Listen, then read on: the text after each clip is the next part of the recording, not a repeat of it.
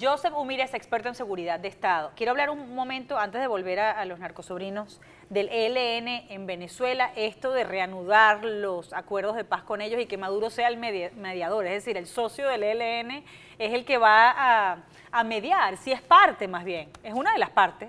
Sí, mira, el ELN está sirviendo como eh, una herramienta que tanto Maduro como el, gobierno de Gustavo Petro en Colombia lo pueden utilizar para acercar sus gobiernos, porque van a decir que tienen enemigo común, ¿no? Este narcotráfico, narcoterrorismo, y buscan ese conflicto en la frontera que ellos mismos fomentan para buscar, buscar, este diálogo de paz. Y ese diálogo de paz es un montaje simplemente para buscar comisiones binacionales que van a construir para poder operar en los dos lados de la frontera. ¿Tú, estás pensando como en eh, recrear la Gran Colombia, o sea, quieren, sí, quieren borrar la, frontera que no, quieren borrar esa frontera, quieren que militares venezolanos operen en Colombia, militares colombianos operan en ah, Venezuela y en el tiempo reconstruir una patria que van a decir que es la misma economía, la misma incentiva ah, y, bajo este, eh, van a decir con el corazón de Simón Bolívar, no sé cómo lo van a pintar, pero van a reconstruir esa patria, pero hoy la diferencia de ese momento de Gran Colombia, que fracasó en ese momento también y va a fracasar otra vez, pero la razón que van a hacer es que están usando el motor de narcotráfico, eso es lo que le están uniendo. En cierta forma ya hay un país cuando estamos hablando de narcotráfico, porque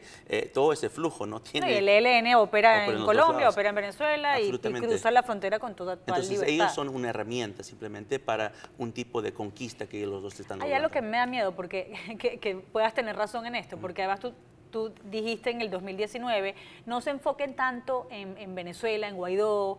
Tú no eras tan optimista con todo este movimiento, más bien creías que Estados Unidos estaba descuidando Colombia, Brasil, México, estaba descuidando otras zonas que, necesitaban más atención. Sí, es que yo, yo nunca vi al régimen de Maduro como un gobierno, jamás. Yo vi al régimen de Maduro como una red una red que no respeta fronteras, que no respeta el Estado soberano, no respeta la democracia, y vi que esa red estaba operando en todo el continente.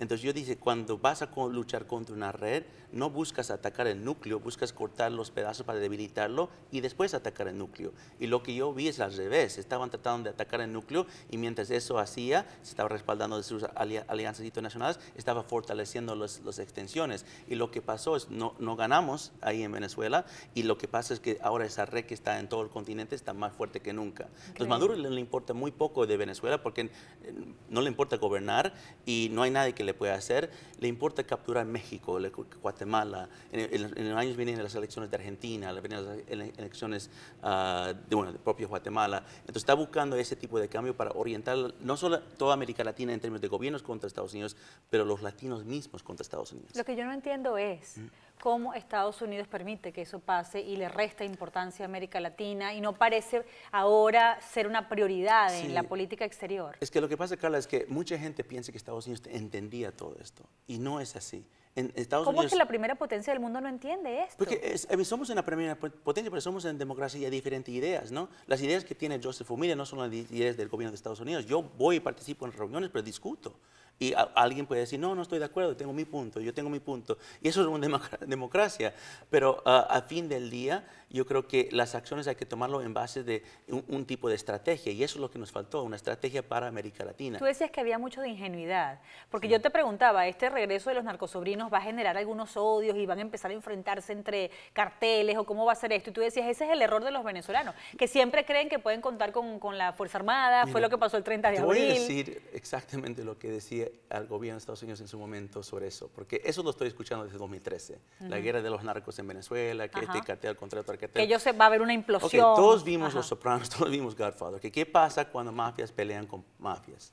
Cortan las cabezas de la otra mafia. Cuando un cartel en Venezuela ha cortado el cabeza de otro cartel. Esa es la pelea más suave que he visto en mi vida. No secuestran familiares, no matan a nadie, porque ellos mismos están engañando a la comunidad internacional para que piensen que hay una oportunidad para que hagan errores. Eso nos llevó al Cucutazo, eso nos llevó al 30 de abril. Ellos usan sus mismos disidentes para infiltrar el mundo y engañar y montar contranarrativas que hacen que la posición caiga y después que los aliados como Estados Unidos los siguen. Entonces, eso, son, eso es guerra simétrica y, el régimen es muy bueno en eso.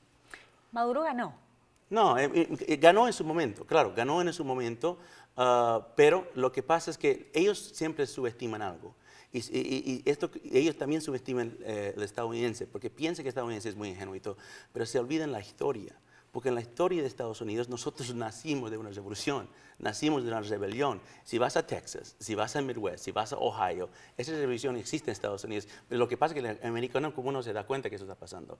Cuando el americano en común se da cuenta que algo en América Latina, como Venezuela, está eh, acabándose con Estados Unidos, se va a levantar una conciencia como ellos nunca han visto. ¿Qué, oportunidad tenemos nosotros de vencerlo? Tiene que levantar la conciencia americana de Estados Unidos. Y no, y no solo se trata de Maduro, se trata de toda la región, porque lo que está pasando en Venezuela ahora está pasando en muchos países. ¿no? Yo creo que Bolivia está en un peligro muy grande. Pero tú no pierdes la esperanza, ¿cierto?